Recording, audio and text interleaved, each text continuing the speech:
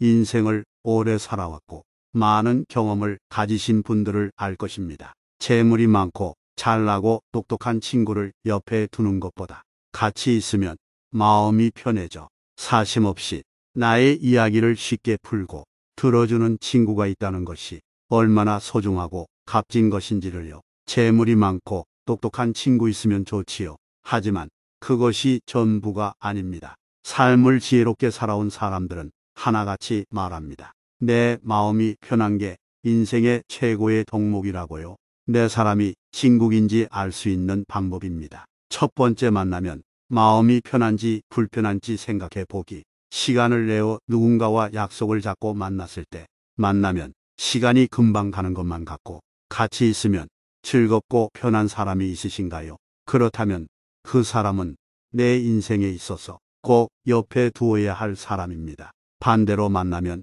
이상하게 불쾌해지고 불편하며 집에 와서는 찝찝하니 무언가를 골똘히 생각하게 만드는 사람이 있으신가요? 그런 사람은 내 사람의 바운더리에 포함되지 않습니다. 삶을 살다 보면 정말 많은 사람의 부류를 만나게 됩니다. 내 사람이라고 생각되게 하는 사람은 그 사람을 생각하게 되었을 때 마음이 따뜻해지며 저절로 미소가 지어집니다. 만나면 더욱 더 마음이 편안해져 마음의 위로를 받게 해주는 사람입니다. 그런 사람의 특징은 함께 무언가를 이야기하지 않고 옆에 있어주는 것만으로도 어색하지 않고 편안합니다. 멀리 있어도 가깝게 있는 듯이 느껴지고 가까이 있어도 절대 부담되지 않습니다. 만나면 한도 끝도 없는 이야기 속에 하하호호 웃으며 잔잔한 웃음과 함께 시간이 흘러 속도도 있게 만들 만큼 즐거운 시간을 보내게 해주는 사람입니다.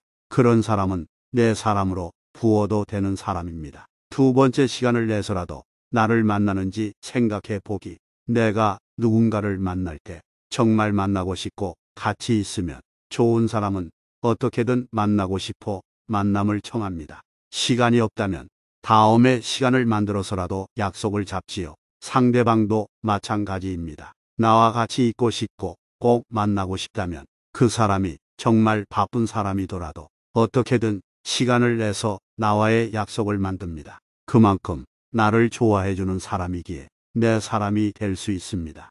시간이 날 때만 나를 만나려고 하는 것과 시간을 내서라도 나를 만나려고 하는 것은 정말 큰 차이가 있습니다. 시간은 마음과 비례합니다. 시간을 내서 나를 만나러 오는 사람은 그 사람의 소중한 하루 중 일부를 나에게 내어주는 것입니다. 시간을 내는 것이 별거 아니라고 생각이 들 수도 있습니다. 하지만 절대 아닙니다. 서로에게 특별한 의미를 주는 것입니다. 하루하루 바빠 자기 자신의 시간도 제대로 가지지 못하는 현대 사회에서 나에게 시간을 내서 만난다는 것은 나라는 존재를 깊이 생각하고 있다는 것입니다. 나를 찾아주는 사람이 있다는 것은 정말 소중하고 값진 일입니다. 나를 기억해주고 알아봐주는 사람이 있다면 그 사람은 무조건 내 사람 중 한 명입니다.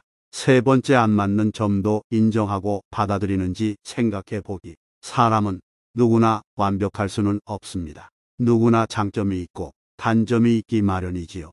사람은 모두 성적과 기질, 그리고 살아온 환경이 모두 다릅니다. 그렇기에 타인과 내가 다름을 인정하고 존중하는 것은 어려우면서도 평생 이해 못할 영역 중 하나이기도 하지요. 하지만 완벽하게 모든 것을 이해할 수는 없어도 성숙한 어른이라면 이해하려고 노력하려고 합니다. 상대방과 내가 다름은 어쩔 수 없는 영역입니다. 모든 것이 통할 수는 없기 때문입니다. 상대방과의 다름을 인정하고 이해하려고 하는 사람은 그만큼 공감 능력이 뛰어난 사람입니다. 인정을 하면 상대방을 이해할 수 있음을 누구보다도 잘 알고 있습니다. 인생에 정답이 없듯이 사람도 누가 맞고 누가 틀리고는 존재하지 않습니다. 인정하고 이해하려는 사람은 나도 이렇게 상대방도 이럴 수 있음을 누구보다도 잘 압니다. 잘 알기 때문에 나와 다른 상대방을 존중하며 받아들일 수 있는 것이지요. 이런 사람은 그릇이 큰 사람이기에 내 사람으로 두어야 할 사람 중 한 명입니다. 서로 다른 것이지 틀린 것이 아님을 잘 알기 때문에 함께 있으면 트러블이 날 확률도 적고 인생을 살아갈 때 함께 더불어 둥글게 살아갈 수 있는 사람이기에 함께 있으면 좋은 사람입니다. 네 번째 나를 존중하며 이해하려고 노력해 주는지 생각해 보기. 서로가 서로를 존중할 때 서로를 함부로 대할 수 없습니다. 내가 상대방을 존중해 주는데 상대방은 나를 무시하고 험하게 대한다면 그 사람은 절대 내 사람이 될 수 없습니다. 만약 조금이라도 나를 무시하고 만만하게 보는 사람이 있다면 하루빨리 그 사람과의 관계를 끊어내시기를 바랍니다. 내 자신을 가치 있게 해주고 존중해주는 사람과의 삶에서 사셔야 합니다. 존중을 받는다는 것이 거창하고 대단한 것이 아닙니다. 있는 그대로의 나를 받아들이고 인정해주며 내가 말하는 모든 것을 함부로 폄하하지 않는 것을 말하지요. 나의 말에 귀 기울여주고 나를 인격적으로 대해주는 사람은 내 인생에 있어서 내가 절대 놓쳐서는 안 되는 사람입니다. 나라는 존재를 존중해 준다는 것은 나를 중요한 사람으로 인정해 주는 것과 같습니다. 존중하며 이해하는 사람은 나를 더욱더 성장시키며 내 삶에 있어서 에너지를 얻어 긍정적인 삶을 키워낼 수 있는 힘을 키워냅니다. 나를 그렇게 만들어 줄 수 있는 사람이 단 한 명이라도 곁에 있다는 것은 성공한 삶이기도 하지요. 존중을 받는다는 것은 나의 자존감을 높여주는 대단한 힘입니다. 존중받는다는 것은 내 인생에 있어 정말 큰 선물입니다. 그러한 큰 힘과 선물을 주는 사람은 꼭 내 사람으로 만들어야 합니다. 다섯 번째 내가 힘들 때 곁에 있어주는지 생각해 보기. 인생은 항상 평탄하지는 않습니다. 행복한 시기도 있지만 아닌 시기도 분명 존재하지요.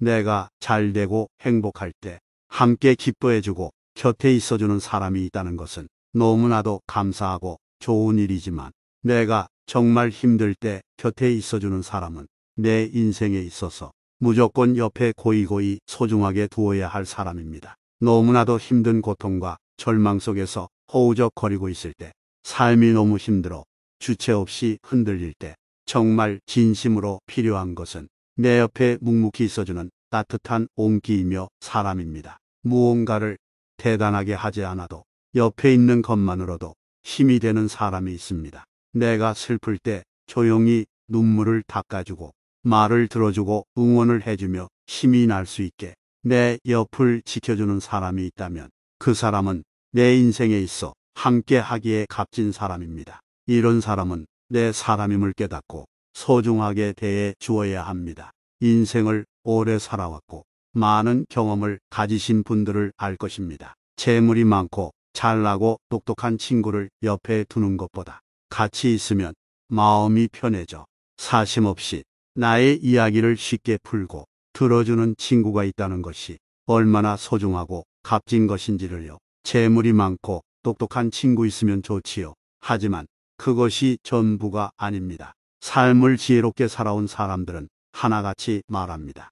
내 마음이 편한 게 인생의 최고의 덕목이라고요. 내 사람이 친구인지 알 수 있는 방법입니다. 첫 번째 만나면 마음이 편한지 불편한지 생각해 보기. 시간을 내어 누군가와 약속을 잡고 만났을 때 만나면 시간이 금방 가는 것만 같고 같이 있으면 즐겁고 편한 사람이 있으신가요? 그렇다면 그 사람은 내 인생에 있어서 꼭 옆에 두어야 할 사람입니다. 반대로 만나면 이상하게 불쾌해지고 불편하며 집에 와서는 찝찝하니 무언가를 골똘히 생각하게 만드는 사람이 있으신가요? 그런 사람은 내 사람의 바운더리에 포함되지 않습니다. 삶을 살다 보면 정말 많은 사람의 부류를 만나게 됩니다. 내 사람이라고 생각되게 하는 사람은 그 사람을 생각하게 되었을 때 마음이 따뜻해지며 저절로 미소가 지어집니다.